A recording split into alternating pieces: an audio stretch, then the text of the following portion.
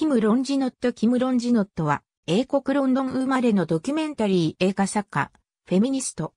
女性が置かれた抑圧や差別による苦難や、苦難に抗する女性の生き方を描く。女性のみのチームで制作することで知られる。代表作は、原州、新宿ボーイズ、イラン式離婚競争曲、シスターズ・インロー。これまで被写対象となった国は、英国、日本、イラン、ケニア。イングランドのビーコンズフィールドにある英国国立映画テレビ学校在学中の1972年、処女作プライド・オブ・プレイスを制作、自らがティーンウェイジャー時代に経験したロンドン郊外、バッキンガムシャーにある古くて外界から隔絶した寄宿舎における食事の劣悪さや不条理な罰則などを描き、寄宿舎の抑圧的な体質を痛烈に批判した。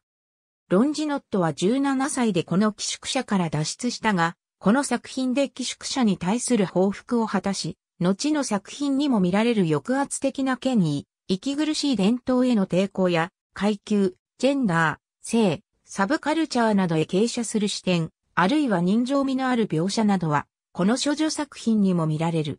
公開後、エディンバラやロンドン、シドニーなど多くの映画祭で上映された。ちなみにこの作品の公開1年後、寄宿舎は閉鎖され、廃止となっている。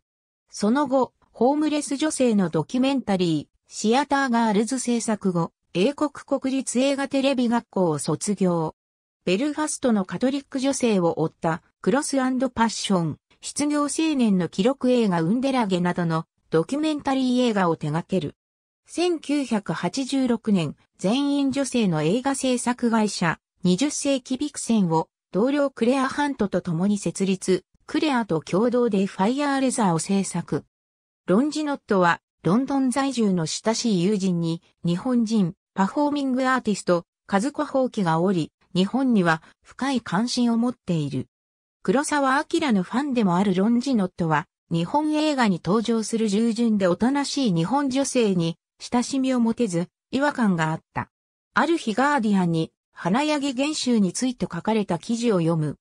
記事は、玄州が日本舞踊の階級制に抗議して、師匠を差し刑務所に服役したこと、独学で読み書きを学んでいることなどを伝えていた。ロンジノットは、日本にそのような女性が存在することなど思いもよらず、アメリカやイギリスで反逆者でいることすら難しいのに、日本みたいな場所では、それがどれだけすごいことか一体この女性はどんな人？と思いを巡らせ、何とかして、原州に会い、その映画を撮ろう、と来日を決意する。